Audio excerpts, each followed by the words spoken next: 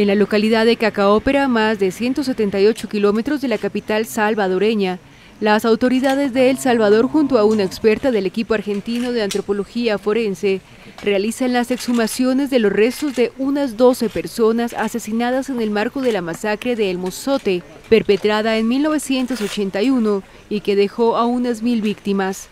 Las exhumaciones son encabezadas por la experta Silvana Turner, que ha participado en la recuperación de osamentas de esta masacre en diferentes ocasiones.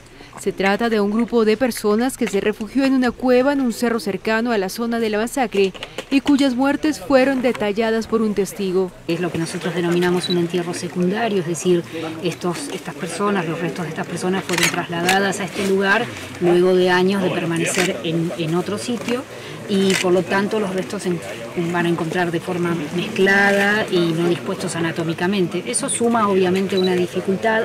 En esa oportunidad han dejado al descubierto al menos cinco cráneos, múltiples huesos y la ropa que usaban las víctimas. Posibilita que eh, se pueda recuperar material depende por supuesto del estado de preservación, las posibilidades que habrá de hacer pruebas genéticas u otros estudios que, que posibiliten identificarlos. Santos Ortiz, sobreviviente de la masacre, espera recuperar los restos de su hermano tras la exhumación.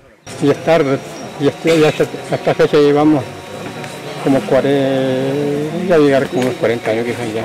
Según el informe de 1993 de la Comisión de la Verdad de las Naciones Unidas, entre el 10 y el 13 de diciembre de 1981, unidades del batallón Atlacatel torturaron y ejecutaron deliberada y sistemáticamente a niños, hombres y mujeres del cantón El Mozote y otras zonas aledañas.